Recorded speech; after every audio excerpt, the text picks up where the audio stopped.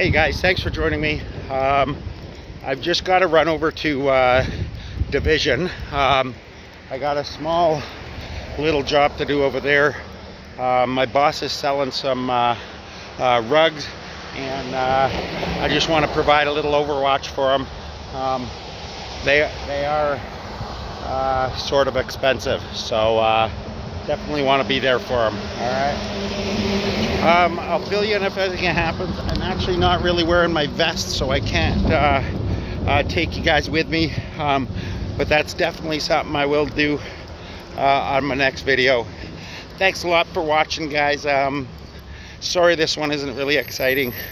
Uh, just wanted to uh, let you guys know I am thinking about you guys. Talk soon. Bye-bye.